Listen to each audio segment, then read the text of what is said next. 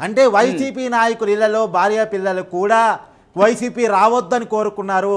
ఎలా అయితే జగన్మోహన్ రెడ్డి గారి చెల్లి షర్మిల వైసీపీ రావద్దని కోరుకుందో జగన్మోహన్ రెడ్డి గారి తల్లి విజయమ్మ వైసీపీ రావద్దని కోరుకుందో అంబటి రాంబాబు గారు అల్లుడు వైసీపీ రావద్దని కోరుకున్నారు. ముద్దరగారి పద్మనాభం గారి కూతురు వైసీపీ రావద్దని కోరుకున్నారు.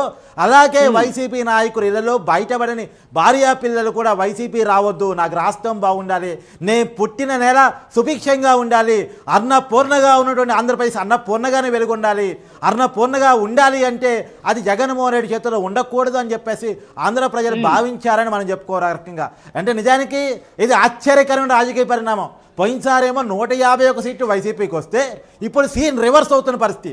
సహజంగా ఏంటంటే నూట యాభై నుంచి వంద సీట్లు పడిపోవటం ఒక రకం డెబ్బై సీట్లకు పడిపోవటం ఒక రకం యాభై సీట్లకు పడిపోవటం ఒక రకం. కానీ అంతకు మించి ఇంకా వైసీపీ పడిపోతుందంటే ఎంత వ్యతిరేకత ఉంది ఏ మేరకు వ్యతిరేకత ఉందో మనం అర్థం చేసుకోవచ్చు వలి. అవును. అంశంలో దాదాపు కాంగ్రెస్కి సంబంధించినటువంటి అంశం ఎనిమిది కనబడతా ఉంది. భారతీయ జనతా పార్టీకి ఏడు కనబడతా ఉంది. బీఆర్ఎస్ పార్టీ మెదక్కి సంబంధించి ఒక్క స్థానం కనబడుతున్నటువంటి పరిస్థితి. వస్తుంది. నువ్వు ఏదైతే చెప్పావో మనం టీవీ ఎక్స్క్లూజివ్గా గ్రౌండ్ రిపోర్ట్ ఇచ్చింది. ఆల్రెడీ మనం టీవీ ఎగ్జిట్ పోల్స్ని కూడా తెరపైకి తీసుకొచ్చిన పరిస్థితి. కాంగ్రెస్ పార్టీకి ఎనిమిది రావచ్చు భారతీయ జనతా పార్టీకి ఏడు స్థానాలు వస్తాయి ఎంఐఎం ఖచ్చితంగా హ్యాట్రిక్ కొట్టేటటువంటి స్థానం హైదరాబాద్ తర్వాత మెదక్కి సంబంధించి వెంకట్రామరెడ్డి లీడింగ్లో ఉన్నటువంటి పరిస్థితి. అక్కడ ఆల్రెడీ రఘునందన్ రావు పోటీలో ఉన్నాడు అట్లనే నీలం మధు ముద్రాజ్ కూడా పోటీలో ఉన్నటువంటి నేపథ్యంలో. రఘునందన్ రావు గెలిచేటటువంటి ఛాన్సెస్ ఉండొచ్చు అంటూ కూడా మనం టీవీ ఎగ్జిట్ పోల్స్లో చెప్పింది కానీ వెంకట్రామ్ రెడ్డి మాత్రం పూర్తి స్థాయిలో ఇక్కడ లీడింగ్లో ఉన్నటువంటి పరిస్థితి. ఒకసారి లీడింగ్కి సంబంధించినటువంటి విషయం కూడా మనం మాట్లాడేటటువంటి ప్రయత్నం చేద్దాం వలియన. అయితే ఇక్కడ వరంగల్లో కడియం కావ్య ఎనిమిది వేల లీడింగ్తో కనబడుతున్నటువంటి పరిస్థితి. పెద్దపల్లి పార్లమెంట్ స్థానంలో ఐదు వేల తొంభై నాలుగు ఓట్ల ఆధిక్యంలో కాంగ్రెస్ పార్టీ అభ్యర్థి గడ్డం వంశీకృష్ణ అక్కడ లీడింగ్లో ఉన్నటువంటి పరిస్థితి. చేవెళ్ళలో ఇక్కడ బీజేపీ అభ్యర్థి కొండా విశ్వేశ్వరరెడ్డికి పద్నాలుగు వేల ఆధిక్యంలో కనబడుతున్నటువంటి పరిస్థితి. కరీంనగర్లో పదిహేను వేల ఆధిక్యంలో బండి సంజయ్ కుమార్ ఉన్నటువంటి పరిస్థితి. ఎందుకంటే అక్కడ బండి సంజయ్ని ఓడగొట్టడానికి అనేకమైనటువంటి కుట్రలను మాజీ ముఖ్యమంత్రి కల్వకుంట్ల చంద్రశేఖరరావు ముందేసుకున్నాడు. అయినప్పటికీ కూడా ఎట్టి పరిస్థితులలో బండికి సంబంధించినటువంటి ఆ ఓన్ సీట్ను అనే సిట్టింగ్ స్థానాన్ని ఎవ్వరు కూడా అక్కడ నుండి తీసుకోలేకపోయారు. తర్వాత మల్కాజ్గిరికి సంబంధించి ఈటల రాజేందర్ పద్దెనిమిది వేల లీడ్లో ఉన్నాడు. అక్కడ మల్కాజ్గిరి అత్యంత కీలకమైనటువంటి పార్లమెంట్ నియోజకవర్గం తెలంగాణ రాష్ట్రంలో భారతదేశంలోనే అత్యంత పెద్ద నియోజకవర్గంగా కూడా మనం మాట్లాడుకోవాల్సినటువంటి అవసరం ఉంటుంది.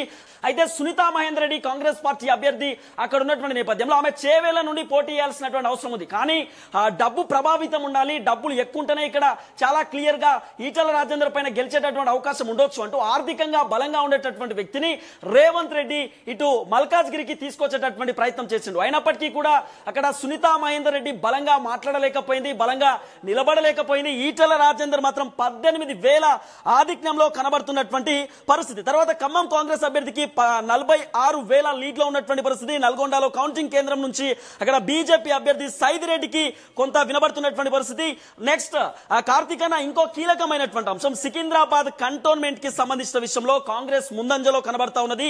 ఎనిమిది వందల యాభై ఐదు ఓట్ల లీడింగ్లో శ్రీ గణేష్ కనబడుతున్నటువంటి పరిస్థితి. లాస్య నందిత ఇటీవేళ ప్రాణం కోల్పోయినటువంటి సిచ్యువేషన్ కూడా మనం చూస్తాం ఆమె రోడ్ యాక్సిడెంట్లో మరణించినటువంటి పరిస్థితి. అక్కడ కాంగ్రెస్కి సంబంధించినటువంటి అభ్యర్థి శ్రీ గణేష్ మాత్రం ఎనిమిది వందల యాభై ఐదు ఆ లీడింగ్లో ఆయన దూసుకోపోతున్నటువంటి పరిస్థితి. తొమ్మిది పార్లమెంట్ స్థానాల్లో కాంగ్రెస్ ముందంజలో ఉండగా బీజేపీ ఏడు స్థానాల్లో ఎంఐఎం ఒక్క స్థానంలో బీఆర్ఎస్ పార్టీకి ఇటు తొమ్మిది తగ్గి ఒకటి బీఆర్ఎస్ పార్టీకి వచ్చినటువంటి పరిస్థితి. వెంకట్రామరెడ్డికి కొంత లీడింగ్ అనబడుతున్నటువంటి సిచ్యువేషన్ కూడా మనం చూస్తాం. ఇక తెలంగాణకు సంబంధించి మనం మాట్లాడుకుంటే మహబూబాద్ జైరాబాద్ భువనగిరి ఖమ్మం నల్గొండ వరంగల్ పెద్దపల్లి నాగర్ కర్నూలు పార్లమెంట్ స్థానాలలో కాంగ్రెస్ అభ్యర్థులు ఆధిక్యంలో కొనసాగుతున్నటువంటి పరిస్థితి.